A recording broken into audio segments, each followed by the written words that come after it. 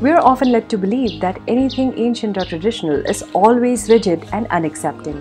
This notion fails miserably when we talk of yoga. Not only has this ancient science embraced change, it has traveled across the world and has assimilated with other interesting practices. Yoga, or as we now call it, yoga, is so much more than a recreational exercise. Yoga is an ancient way of life, rooted in harmony of the consciousness and unity with all aspects of life. Yoga's global journey has been very interesting. It has resulted in the fusion of the ancient and the contemporary. In our culture, yoga was a means to perfect the best versions of ourselves. Similarly, yoga and contemporary disciplines have enabled better, more effective lifestyle regimens.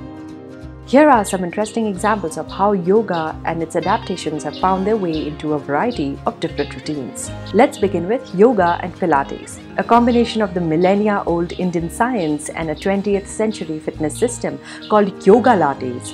This yoga fusion has taken the world by storm and is rapidly becoming the go to workout for anything from weight loss to managing arthritis.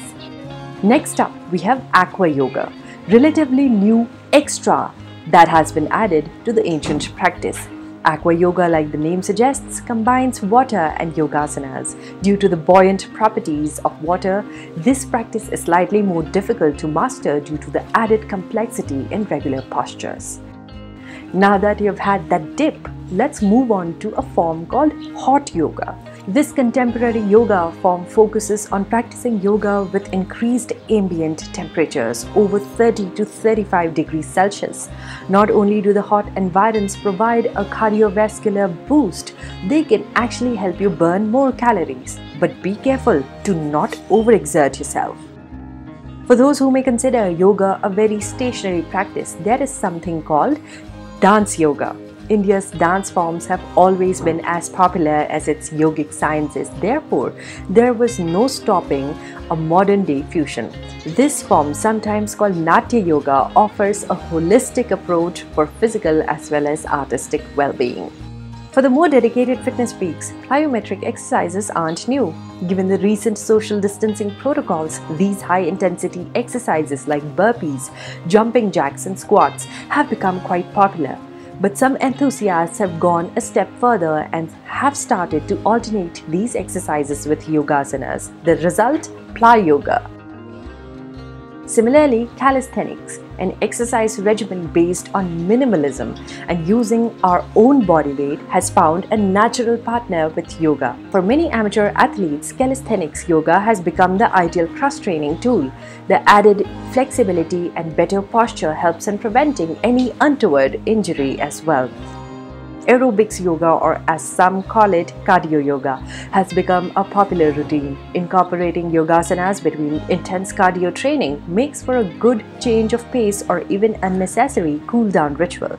Of course, we'd be lying if we said the benefits weren't amazing. Over the years, the wide range of benefits that have become accessible through regular yoga routines have also found their way into international sports. No, I'm not talking about a run of the mill stretching session at the start of a workout, even though that is essentially a watered down version of Surya Namaskar. Yoga has been observed to be exceptionally beneficial in sports like snowboarding and surfing that require increased flexibility agility, and most of all, balance. Consider the Ardha Chandrasan or the Veerbhadrasan. These postures not only increase muscle strength but also provide a heightened sense of balance. These are exactly the areas of excellence when it comes to the difficult task of navigating down snowy slopes or going through what surfers call the tube. Moreover, when combined with other postures and a disciplined approach, yogasanas can also be used for recovery from minor sport injuries. But this brings an important question to light.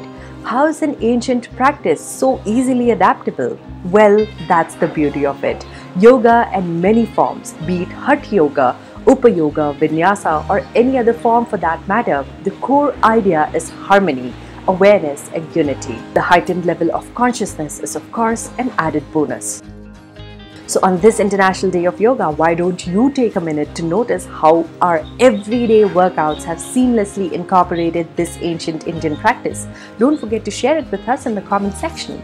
Until next time, stay safe, healthy, and remember to get vaccinated. Dhanyavad and Namaste.